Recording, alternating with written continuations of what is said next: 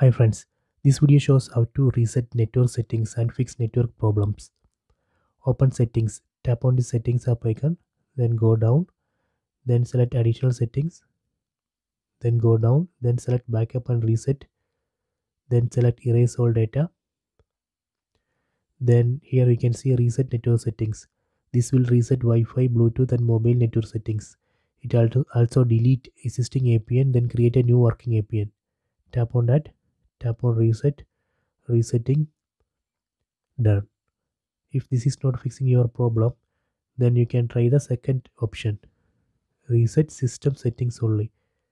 Tap on that then tap on reset system settings.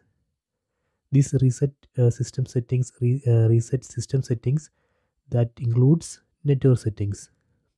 Tap on reset again. Now it's restoring done. Okay so these are the two methods to reset network settings and fix network problems.